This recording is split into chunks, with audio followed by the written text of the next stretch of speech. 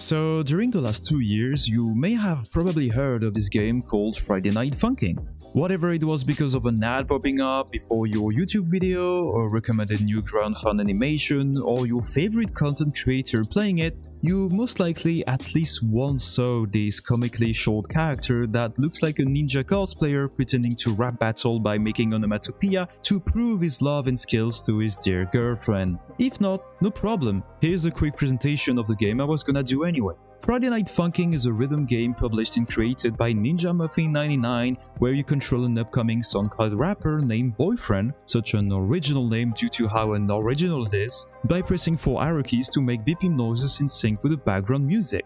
The objective is basically to defeat your opponents, whereas there are a demon with pubes coming out of their pants, a cannibal that has a lemon for a head, a stereotype, or even Newground characters that make you go, oh cool, I know this character, holy shit.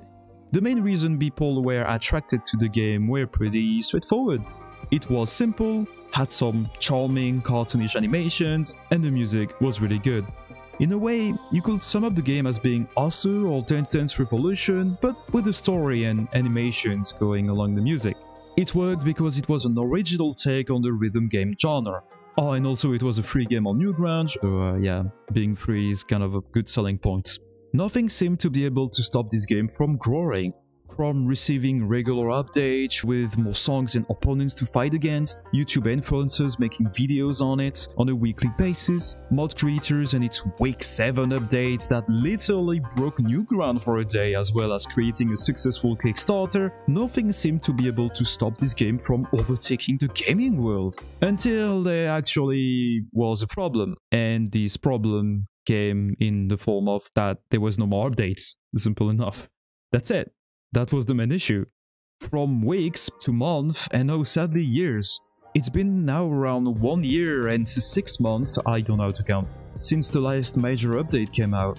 This is one hell of an issue because this led the game to lose all the incredible momentum it had accumulated for months. The player base and general interests of people gra gradually shifted to other games, but there actually was a solution to that progressive lose of interest in the game one temporary solution that ironically could also create another big problem for dev team in the future that could make releasing official updates a real nightmare.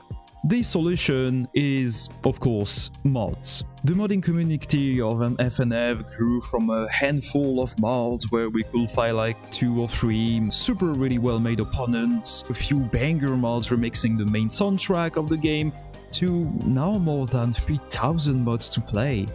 And by play, uh, for some I would prefer to use the term endure or suffer, that will be more appropriate, yeah. Friday Night Funkin' had turned into one of those games where the community had completely taken over the base game, to the point where now when most people, me included, think about FNF, the first thing popping out in their mind are Sonic.exe, Mid-Fight Masses, or even the Wednesday Infidelity mods. Yes, we went from fighting demons and lemons to dodging needles thrown by Mickey Mouse. All of this wasn't inherently bad at first, it kept the community busy while the devs were working on the next updates.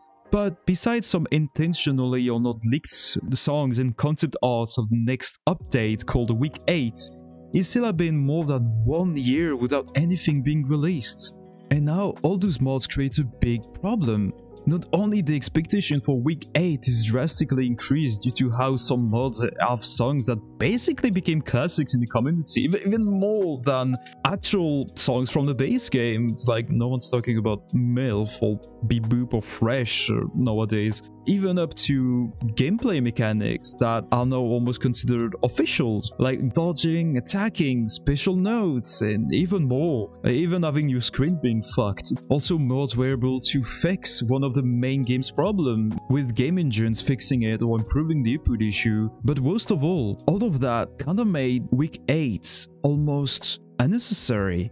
Yes, you heard me right. The modding community created and improved on so much of the base game during the past years that the only real thing the dev could do, which was just good songs, that's about it. Inputs are already fixed, there's new animation, I mean cutscenes were made in mods, everything, just even mods are able to read into your computer name and shut down your computer, just th there probably won't be anything new or life-changing besides new difficulty settings, cutscenes, and even if it is shooting or dodging mechanics, yeah, it will be different and new compared to the original game, but at this point, it is as if mods already replaced or at least expanded on it to a degree that mods feel like an official expansion to it to some degrees. Just look at the Tricky mod, Midfight Masters back in the days, or even Indie Cross. Just, just look at how popular and reeking of quality they are, to the point that you could ask someone that doesn't know much about the game which one is the original and he will probably struggle to answer you.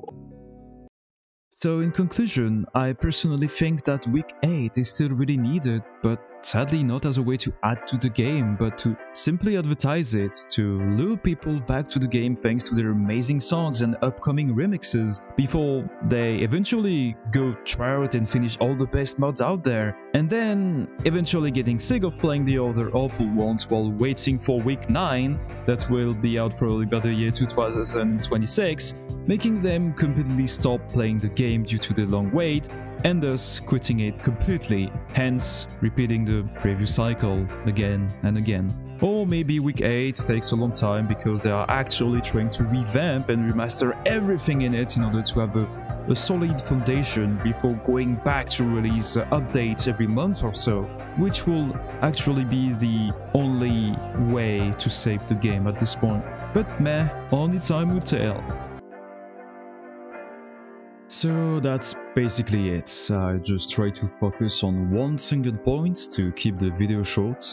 The one being that the state of FNF isn't looking so good at the moment and that there is little to no chance that one single official update will save the game due to how badly friends died in the span of one year and that all the changes brought by mods will basically undermine the impact of the upcoming new additions of Week 8. I'm afraid at this point that the game will basically stay in its current new state of simply being an app for children to play with, despite of course the graphic nature of the game as well as the mature themes surrounding it. That actually could be an interesting theme for another video, hmm, need to think about it.